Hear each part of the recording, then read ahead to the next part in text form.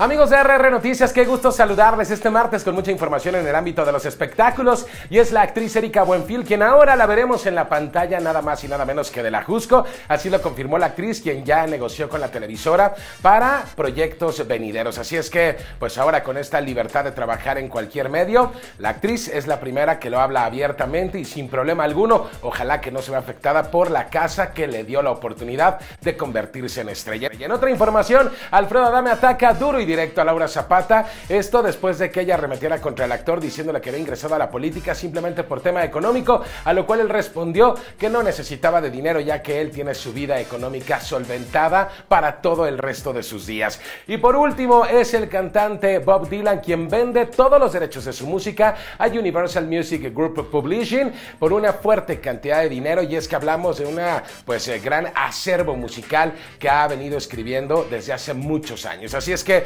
pues enhorabuena para esta casa editora y disquera, quien ahora adquiere los derechos de la música de este cantante y además premio Nobel a la literatura. ¿Quieres saber más información? A través de las redes sociales de RR Noticias y por supuesto en mi página Germán Showbiz RR. Que tengas un estupendo martes. Te veo en una próxima entrega de los espectáculos.